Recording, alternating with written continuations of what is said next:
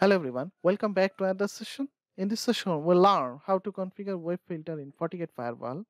Using FortiGate Firewall web filter will block access to the specific website. To do this, we'll create a static URL filter for the specific website. Also, we'll use SSL inspection to make sure that encrypted traffic to this specific website is blocked. For this demonstration, we'll use facebook.com to block Facebook and its subdomain access from internal network.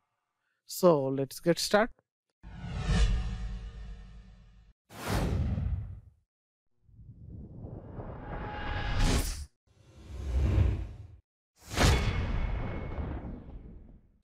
First, we'll enable web filter and then we'll edit the default web filter profile. After that, we'll create a security policy. Go to System, Feature Visibility, and make sure that web filter is enabled. Click Apply. Go to Security Profile and select Web Filter. Here we can see the default web filter profile that is created automatically. Go down under static URL filter, enable URL filter. Create a new filter, URL to asterixfacebook.com. Set type to wildcard, action block, and status enable. By using the asterisk as a wildcard character, this filter will block traffic to any site that ends in facebook.com. Click apply.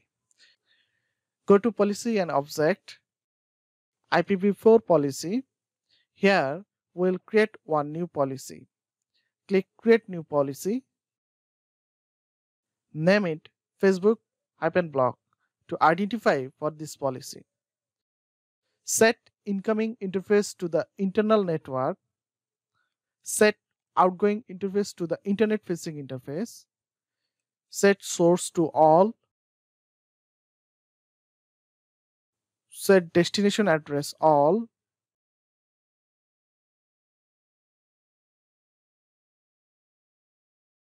set service to all,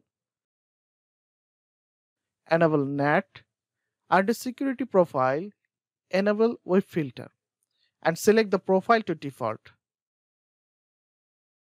Enable SSL inspection and select certificate inspection. Click OK. To make sure this policy to the internet traffic and also make sure it's located at the top of the policy list.